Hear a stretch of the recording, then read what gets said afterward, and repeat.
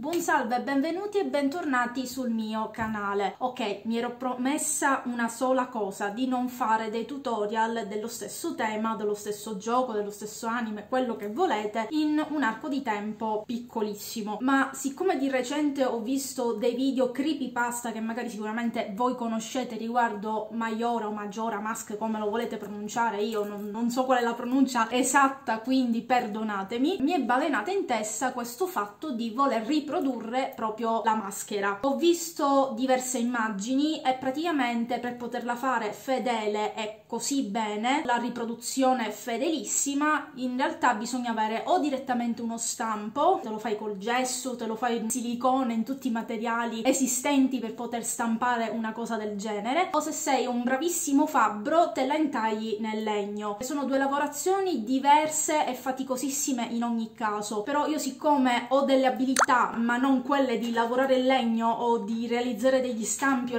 lavorare con materiali diversi dalla gomma eva e simili, mi sono ingegnato un progettino così partendo da una silhouette a forma di cuore e ho realizzato questa maschera, ma più che maschera in sé sarà un oggetto da appendere al muro e insieme nel mio caso ad Akuaku e Uka Uka che sono appesi proprio di fronte a me e c'è in mezzo c'è la maschera di Viper Vendetta, però sinceramente un po' cozza rossa quindi credo che la maschera di Maiora o Maggiora Mask ci stia meglio di, della maschera di V. Io ho cercato di riprodurre nei dettagli tutto quello che riuscivo a vedere nelle immagini anche perché più che l'immagine in sé del videogioco che è di qualche anno fa quindi non, i dettagli non si vedono benissimo mi sono affidata a diverse immagini di action figure in dimensioni reali. Ho notato che è molto molto colorata, che ha diverse sfumature sfumature e io dato che con la colorazione me la cavo abbastanza bene giocherò molto con quello. Anche perché col progettino che mi sono fatta a livello di composizione le forme da assemblare insieme non sono così complicate. Abbiamo la forma centrale di un cuore poi abbiamo dei coni per un totale di 8 coni laterali 4 e 4 e due che saranno praticamente le corna. Tramite l'utilizzo di una palla trasparente di Natale divisa in due andremo a fare gli occhi occhi. Per fare i coni, soprattutto dei coni perfetti quindi con la punta, vi consiglio di andare a vedere i tutorial su come realizzare dei coni per pasticceria e credetemi sono facilissimi e mi hanno aiutato tantissimo a realizzare questi coni perfetti con delle punte bellissime. Mi raccomando, io vi invito a guardare bene tutti i dettagli dall'immagine principale che prenderete come riferimento perché qui è richiesto un lavoro di simmetria geometria. Tutte le parti sono uguali fra di loro e bisogna stare molto molto attenti. Io non assicuro niente, non credo verrà perfettissimo, però cercherò di metterci tanto impegno. Se voi volete mettere questo impegno insieme a me, proseguiamo andiamo a vedere come realizzare questa maschera. Realizzate una sagoma a forma di cuore e ritagliatela per 5 volte sul materassino da yoga, incollatele l'una sull'altra per fare spessore. Definite i bordi con gomma eva strisce e ritagliate gli eccessi. Realizzate 10 coni uguali con gomma eva o cartoncino Bristol 200 g giallo o bianco, 4 per lato e 2 per le corna. Seguendo un'immagine di riferimento realizzate tutti i dettagli partendo dalla parte frontale.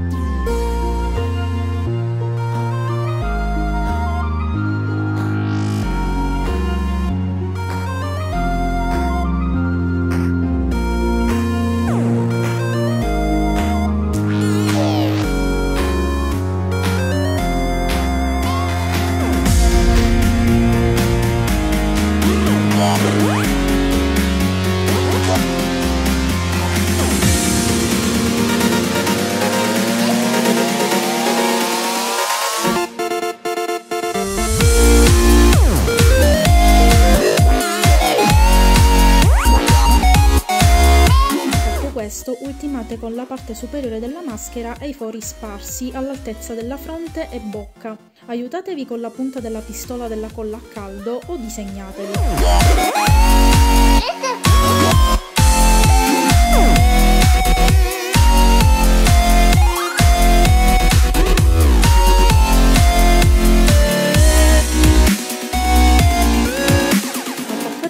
Tutti i coni in modo corretto e simmetrico, colorate con acrilici o con materiali che più vi piacciono.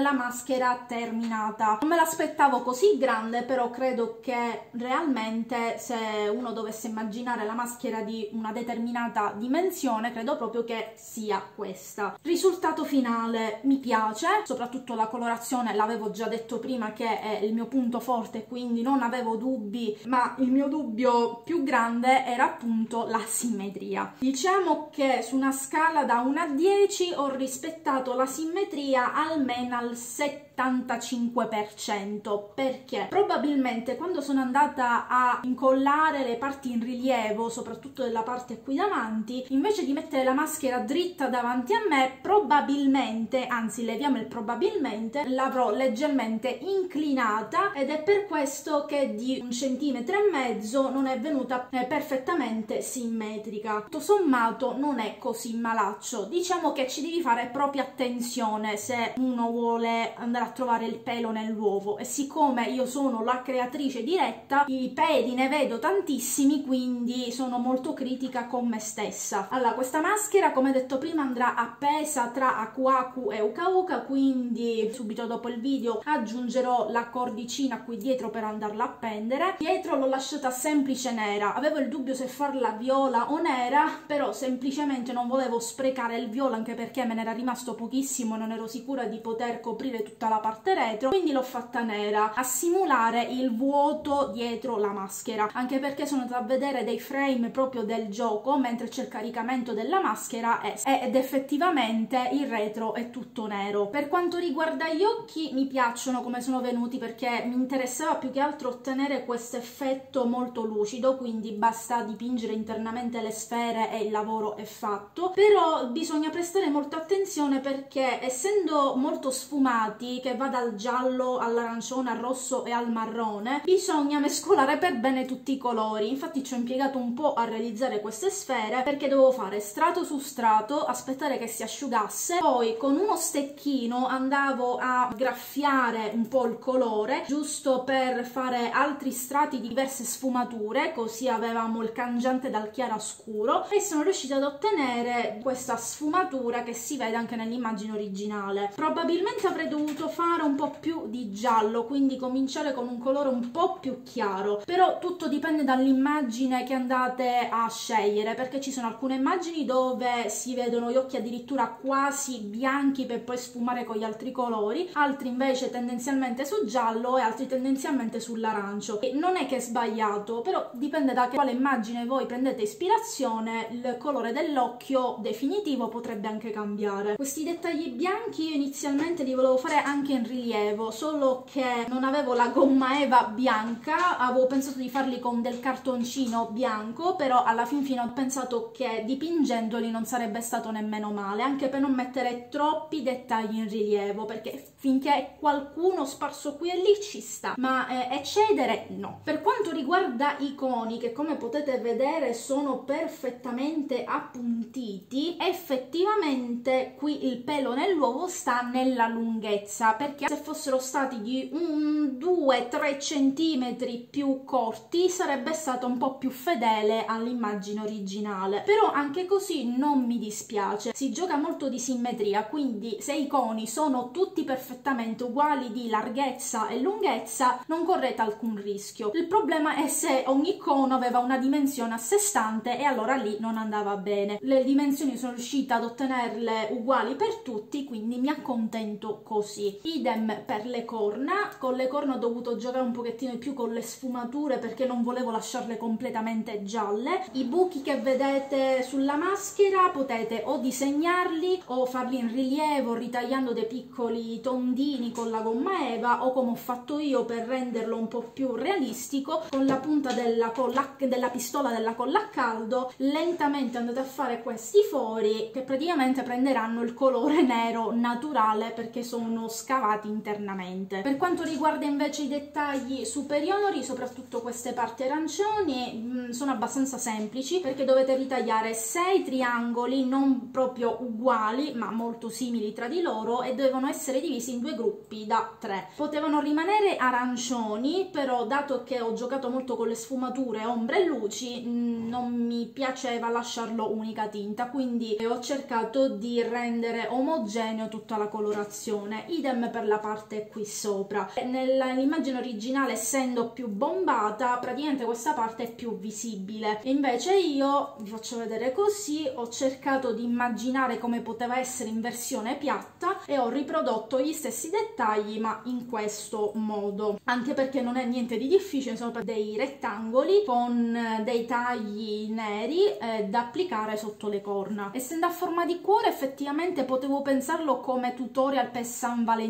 però non so quanto sia attinente la maschera del gioco di Maggiora Mask per un tutorial di San Valentino. Va bene la forma di cuore però per tutte le creepypasta che abbiamo ascoltato fino ad ora non credo che proprio sia il tutorial adatto per il giorno degli innamorati quindi ho fatto bene a riprodurlo molto più avanti. Ammetto che con la silhouette a forma di cuore che avete visto nel video già ho in mente um, uno o altri due tutorial da fare e vi faccio un po' di spoiler. Saranno due scettri in particolare tratti da due anime che hanno accompagnato la nostra infanzia. Non vi dico quali nello specifico vi faccio un po' scervellare. Cercate di immaginare quali anime quale maghette hanno usato nella loro vita uno scettro a forma di cuore e scrivetemelo nei commenti. Spero che questo tutorial vi sia piaciuto che vi abbia tenuto compagnia. Se avete foto e video di cose realizzate grazie ai miei tutorial sapete che potete mandarli sui miei social che li trovate giù in descrizione. E se volete sostenere il canale in qualche modo anche offrendomi un piccolissimo biscottino una buonissima caramella al limone potete contribuire mandando giusto un contributo su Kofi. Trovate sempre il link sotto in descrizione insieme agli altri social. Se avete altri suggerimenti di tutorial tratti dal mondo nerd mi raccomando scrivete sempre sotto nei commenti perché io vi leggo. Detto questo ci vediamo alla prossima e spero che la creazione di questa maschera non mi porti a fare degli incubi. Vediamo la prendiamo e vediamo come va. Ci vediamo alla prossima. Ciao